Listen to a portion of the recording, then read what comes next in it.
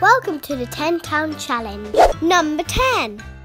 Tia is making a special Chinese soup for the opening night party.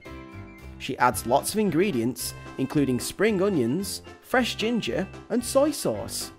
It's nearly time to open the restaurant, but in the rush, Tia has forgotten an important part of the soup, and that's dumplings. Luckily, Tia has a special cooking pot, which she uses whenever she needs help. Cooking pot, cooking pot, help me again. I need more dumplings, so give me ten.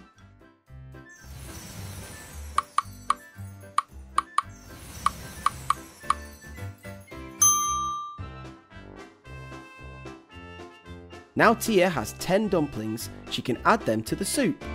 Can you help Tia 10 in the kitchen?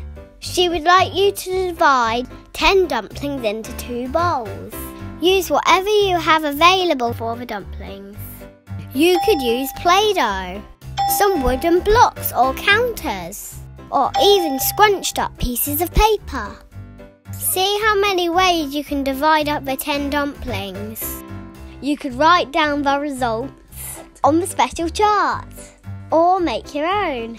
Take a photo of the bowls or the chart and email to info at 10town.co.uk.